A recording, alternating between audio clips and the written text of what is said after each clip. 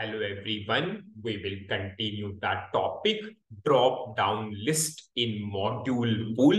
And in the previous video, we finished with the coding part.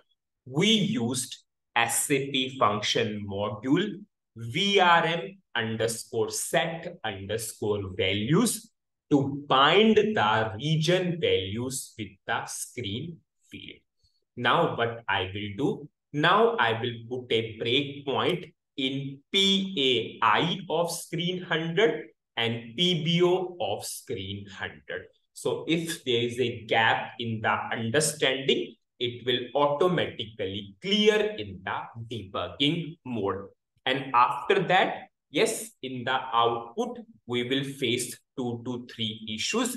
With the help of debugging only, we will identify how to resolve those issues. And during drop down, yes, these are the common challenges and it will help you to resolve those issues also. So firstly, I will go to PAI of screen 100. I will put a breakpoint here. Now I will go to PBO of screen 100. I will put a breakpoint here also. And if some gap is there, it will clear in that debugging mode now. I'm running the program. We all know whenever I will run the program, firstly PBO of screen 100 will call. I'm going for execute in a new window. And you can see PBO of the screen 100 called. This is the logic we have written in the process before output of screen 100. Now you can see this if condition is failed, failed because we have not given any value of the state as of now. As of now, our screen has not even appeared. So this if condition is false and our logic will not execute. And this is what we want also if I will go to execute, you can see we got the screen.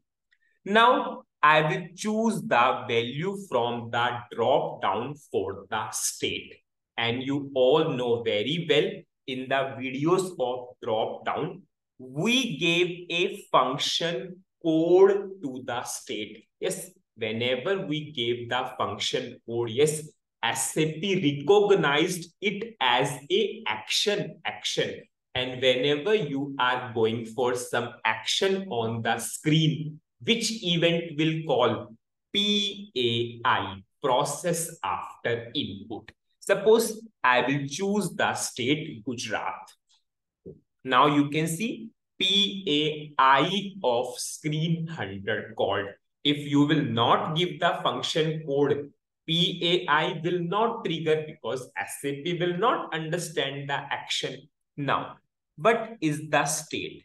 Gujarat, GUJ. You all know we gave a three-digit code. GUJ stands for Gujarat. So we choose what? GUJ. This input will go to state column of this table. It will fetch the regions and data will come into this internal table. As of now, see, internal table has zero records. If I will show you that table also, this is our table. Suppose if I will give the state as GUJ, if I'm executing, you can see we are able to get two regions, Ahmedabad and Vadodara. If I will execute this query using F6, you can see we have two regions in this internal table.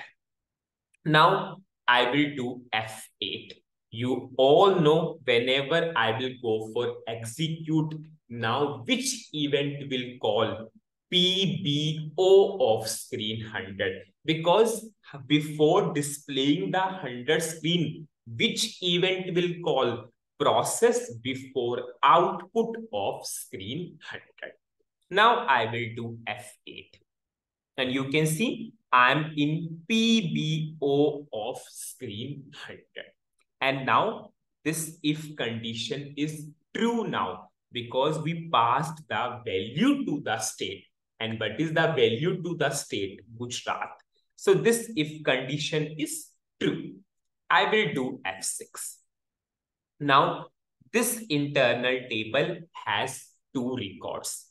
From these two records, we will pass it to this work area one by one.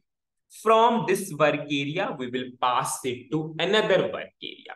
Suppose if I will do F6, if I will show you the work area, LWA underscore data. Now in this work area, we have the region Ahmedabad. The first region is Ahmedabad. Now, if I will show you LWA underscore values work area, I'll, I will write. Now you can see this work area has two columns.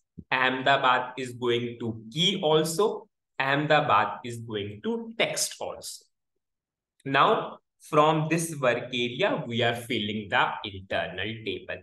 Internal table has zero records as of now. Now we have first record in the internal table. Just see, first record. Now loop will go for the second record. So we are passing the second record to the work area. What is the work area now? Vadodara. We are passing it to LWA values. What is LWA values now? Vadodara. And from this work area, we are filling the internal table. And you can see this internal table has two records now. And now after that, we are simply, simply using the function module vrm underscore set values to bind these two values with this particular screen field. What is our screen field region? If I will go to execute, you can see we are able to see the two values related to this Gujarat state. Suppose, now if I will go for suppose Haryana, I'm choosing Haryana. I performed the action. Yes, when I performed the action, which event called again? PAI called again. Now, what is the state now? Haryana. If I will do F6, you can see now in this internal table, we have the two regions related to Haryana only. Now, whenever I will execute, PBO event will call, it will bind the data with the screen field. If I will simply execute, now you can see this is the main problem which we are facing. Previously, we have chosen the state what? Gujarat. So two Gujarat regions will be what? Ahmedabad, Vadodara.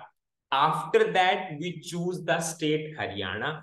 So which two regions are coming? Ambala and Kurukshetra. So have you seen previously records merged with the new records and customer will not accept this. So in the next video, we will see how to resolve this issue also. And after that, we have further challenges also in the drop down. And it's a common challenges which everyone faced whenever they are going for drop down. So what is the summary of this particular video? In this video, we understood the full flow in that debugging mode.